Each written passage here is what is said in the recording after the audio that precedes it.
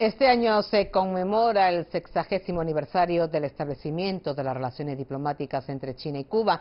En un año marcado por la pandemia del nuevo coronavirus, el apoyo chino al país caribeño ha sido de vital importancia en la lucha contra esta enfermedad, hecho que el gobierno y pueblos cubanos agradecen.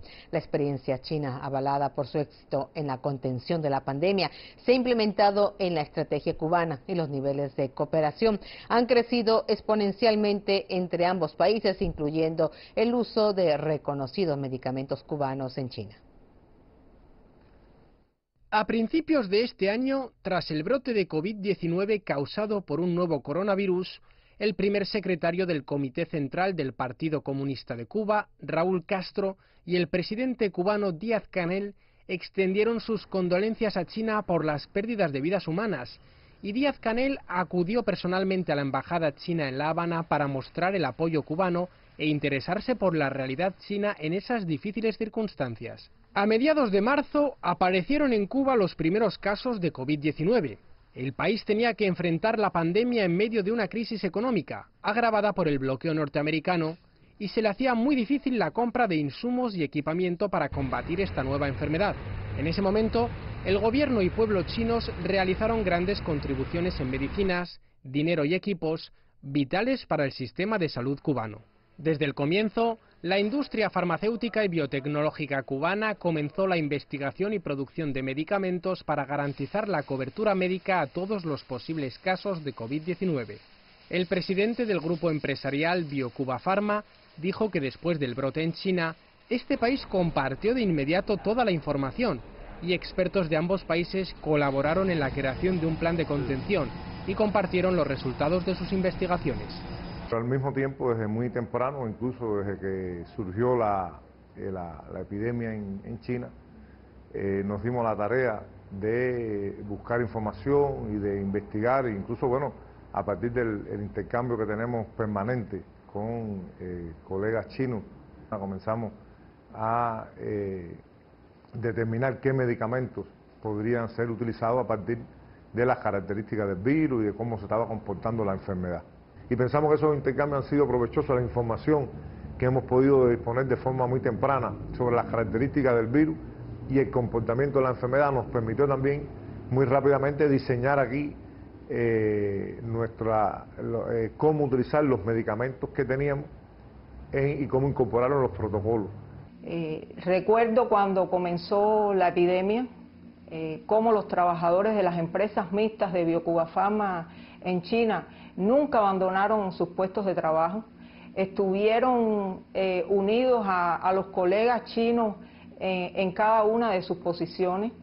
yo creo que eso demuestra hasta dónde llegan los lazos de amistad eh, de compromiso, los valores de, nuestros pueblos y esas cosas se demuestran en las peores situaciones. Tuvieron, diríamos, la, desgracia de ser los primeros en, contaminarse, pero también han tenido eh, la grandeza de compartir toda la información, toda la investigación, esos, todas esas experiencias clínicas las han puesto al servicio de la humanidad.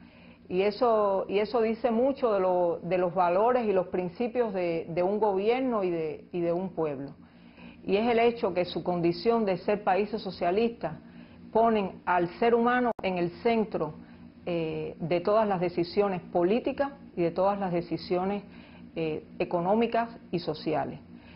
Eh, realmente nosotros sentimos mucha admiración por la forma en la que China ha tratado la, pandemia? Cuba siempre ha sido famosa por tener un sólido sistema de salud, apoyado por una fuerte industria farmacéutica. La cooperación entre China y Cuba en el campo de la biotecnología comenzó en 2004. En la actualidad se han establecido tres empresas conjuntas chino-cubanas y un centro conjunto de innovación biotecnológica ubicados en China. La parte cubana dijo que la lucha conjunta contra la epidemia ha permitido estrechar las relaciones entre los dos países. El 60 aniversario del establecimiento de las relaciones diplomáticas entre China y Cuba es una importante oportunidad para que los dos países profundicen en sus relaciones en diversos campos.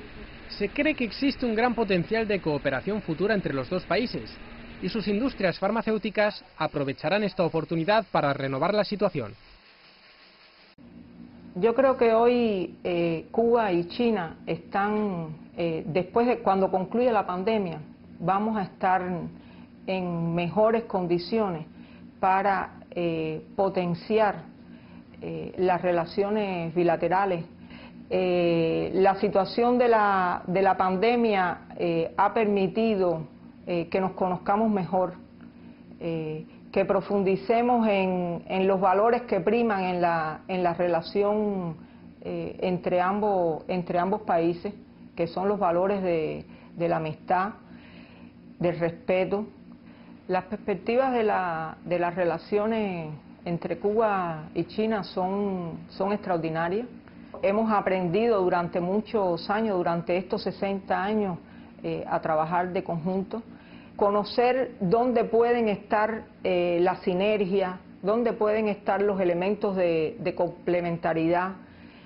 Y, creo que, y creo que sí, que estamos, que estamos en condiciones de trabajar de manera más unida y tener mejores resultados.